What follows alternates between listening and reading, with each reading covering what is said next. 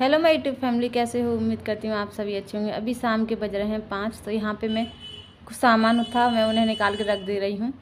अभी मैंने बेटी अभी मैंने बेटी को छोड़ा था अभी ट्यूशन तो उसके बाद मैं सोचा, चलो, ये सामान रखा हुआ मतलब दाल, छोले, चावल, इनको मैं डिब्बे में भर देती हूँ। जब बच्चे जाते हैं ट्यूशन तो उसके बाद में थोड़ा छोटा मोटा काम होता है, जो भी मैं कर लेती हूँ। और जो बच्चों की ये बोतल ख़राब हो जाती है ना, जो पीने वाली बोतल होती है पानी की ये ख़राब हो गई थी, इसका मेरा ढक्कन खुद टूट गया था तो इसे भी मैंने रख लिया, और इसमें भर दूँगी राजमा।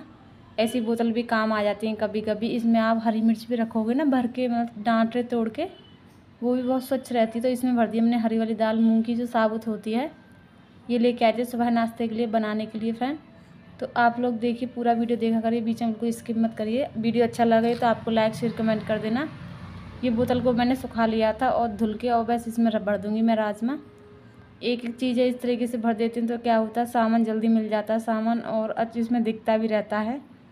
अगर आप वैसे वाले डिब्बे में भर देते हैं ना, जो मोटा वाला होता है, उसमें दिखते भी नहीं है। तो आधे किलो राजमा पूरी बोतल में आ गए थोड़े से बचे हैं, उन्हें मैं छोले में डाल दूँगी। छोले के साथ बन जाएँगे। तो बस मैंने यहाँ पर मेरे पास जब शाम को टाइम रहता है ना तो मैं यही काम करती हूँ, बस और अभी बोतलों में तेल भी ख़त्म हो गया था, मैं चलो इसमें भी तेल भी कर लेती हूँ। ऐसा होता है, शाम को फिर खाना बनाने बैठते हैं तो फिर नहीं रहता, फिर ध्यान भी नहीं रहता है। फिर तुरंत ही करने का मन भी नहीं करता है तो ये कामों के लिए भी टाइम निकालना पड़ता है। तो बस अभी इनको मैं यहाँ पे सामान भर दूँगी, तेल भी भरना है, मुझे भी रिफाइंड भी भरना है। और उसके बाद बच्चों की ड्रेस भी धोनी है, और ऐसा था, सोमवार को मैं पहन गई थी, मंगल को भी पहन गई थी, बुधवार को वाइट कलर की ड्रेस पहन के गई थी। तो मैंने धुला नहीं था, बुधवार का एकादशी पड़ा था तो इसलिए, और बस इसमें तेल भर लिया है मैंने। अब ऐसा ये छोटी बोतल, ये कट्टी जो है बड़ी है, इसमें से मैं ही नहीं ले पाती थी। तो अब आगे चली धोती हूँ कपड़े। ऐसा होता है दो एक आध कपड़े होते तो मैं हाथों से ही धुल देती हूँ, वरना अगर ज़्यादा कपड़े होते तो वॉशिंग मशीन लगाती हूँ। लेकिन कभी कभी हाथ, हाथों से धोने का भी मन कर जाता है और ड्रेस ज़्यादा गंदी नहीं होती हैं बच्चों की।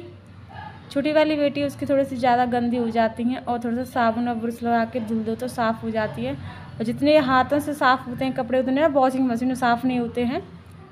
तो मेरा यही मानना है जो ड्रेस और सफ़ेद कलर के कपड़े होते हैं, उन्हें हमेशा ही हाथों से धोना चाहिए, क्योंकि उन पर जो महल जम जाता है ना, फिर वो हाथों से साफ़ होता है।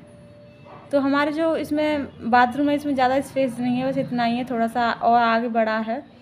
लंबी लंबा, हमारा मकान है, जो लंबाई शेप में ज़्यादा है ये एल शेप में।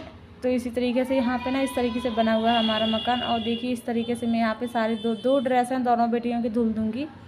अभी बड़ी वाली नहीं जा रही, स्कूल, उसकी तबीयत वैसे तो आराम है उसे, पर लेकिन मैं खुद से नहीं भेज रही क्योंकि कमज़ोर सी हो गई है उसे, थोड़ा सा अभी खाना ठीक से भी नहीं खा रही है तो इसलिए मैंने अभी उसको मतलब भेजा नहीं स्कूल, पर उसकी ड्रेस को धुल के रख दे रही हूँ क्योंकि तभी जाएगी तो पहन जाएगी। छोटी बेटी जा रही है और पढ़ के भी आ जाती है, थोड़ा सा उसका मन नहीं होता है लेकिन थोड़ा सा डांट दो तो चली जाती है फिर। आराम से चली जाती है और आग पढ़ पढ़ के आती तब ना बहुत ज़्यादा खुश होती है। बच्चों को अगर थोड़ा धमका के रखोगे ना तो ऐसा स्कूल चले जाते हैं, अगर थोड़ा सा प्यार कर दो, फिर ना, फिर तो जाते नहीं हैं। तो बच्चों को अगर छोटी सी उम्र में अगर उन्हें पढ़ाना, लिखाना है तो अच्छे से थोड़ा धमका के भेजना चाहिए। तभी जा पाएँगे और तभी पढ़ पाएँगे। तो मैं कोई मतलब जब स्कूल और ट्यूशन के टाइम पे तो कोई उन पर ज़्यादा प्यार नहीं दिखाती हूँ, वरना क्या होगा, अगर मैं थोड़ा सा प्यार भी कर दूँ और कह दूँ कि मत जा तो रह जाएगी और घर पर रहेंगे बच्चे तो कुछ भी सीख नहीं पाते हैं, बस टीवी देखेंगे, खेलेंगे। तो इससे अच्छा है कि उन्हें स्कूल भेज दो, कुछ तो कुछ ना तो सीख के ही आएँगे।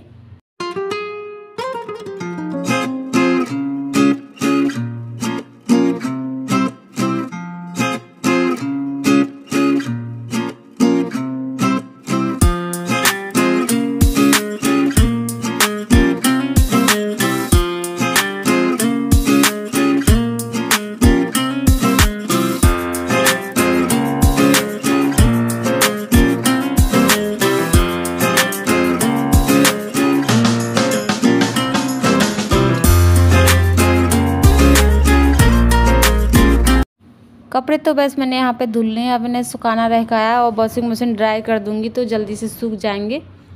अब थोड़ी वैसे भी थोड़ा गर्मी सी हो रही है तो सूख जाते हैं कपड़े। ड्रेस का कपड़ा वैसे भी ज़्यादा मतलब पैंटों का ज़्यादा भारी होता है और बुरसट का हल्का होता है। तो उसके बाद बस मैं खाना बनाने आ गई थी। ये कढ़ाई जो है काली काली इस तरीके से हो रही है। मैंने इसमें ना पापड़ सेक लिए थे दिन में। तो यहाँ पे बस मैंने तेल लिया है, जीरा डाल दिया है और टमाटर और पेस्ट मैंने कर लिया है लहसुन का अच्छे से। यहाँ पहले पे मैं यहाँ पे प्याज का और लहसुन का पेस्ट डाल दूँगी। प्याज इस टाइम पे थोड़ी सफ़ेद सफ़ेद आ रही तो देखिए कितना मतलब लहसुन और प्याज का पेस्ट कितना सफ़ेद लग रहा था।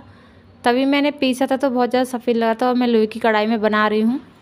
क्योंकि छोले थोड़े से काले भी हो जाएँगे तो भी चल जाएँगे खाने में मतलब कोई भी वो नहीं करेंगे दिक्कत। ऐसा होता है और सब्ज़ियाँ काले हो जाती है, उसको अच्छा नहीं लगता है। फिर यहाँ पर देखिए डाल दिया मैं टमाटर का पेस्ट। अब डाल दूँगी यहाँ पर अच्छे से इनको पकाना चाहिए। मुझे ना अगर प्याज का पेस्ट पकता नहीं है तो मुझे इतना स्मेल सी आती है कि सब्जियों से मुझे अच्छी नहीं लगती है।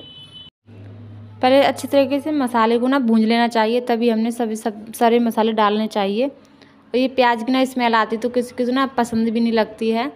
तो मुझे कभी कभी किसी किसी सब्ज़ी में तो बहुत बेकार लगती है ये प्याज का पेस्ट। तो बस मैंने यहाँ पे अच्छे से खदक पड़ गई, इसमें पका लिया है, इसमें डाल दी घोल के मसाले। मसाले यहाँ पे डाला है मैंने हल्दी पाउडर, धनिया पाउडर, लाल मिर्च पाउडर, गरम मसाला डाल दिया थोड़ा सा। और डाल दिया मैंने थोड़ी सी काली मिर्च। बस तो यहाँ पे मैं हरी मिर्च नहीं डाल रही हूँ, इसलिए मैंने यहाँ पे लाल मिर्च डाल दी थोड़ी सी ज़्यादा। क्योंकि जब मिर्च फिर कम रह जाएँगी तो बस यहाँ पे डाल दिया, सभी मसाले डाल दिए अच्छे से इनको खदक आने तक। और चने मैंने पहले बॉयल करके रख लिए थे तो यहाँ पे डाल दिए मैंने चने। ये काबली चने हैं छोटे छोटे वाले होते हैं जो। तो बस इनको अच्छे से फ्राई करके थोड़ा सा भूनूँगी, उसके बाद कर दूँगी पानी। और ज़्यादा पतले नहीं करूँगी।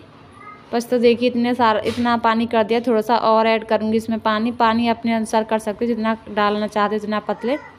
तो बस देखिए, अभी दस मिनट बाद मैंने देख रही तो छोले की सब्ज़ी कुछ इस तरीके का कलर आया हुआ है।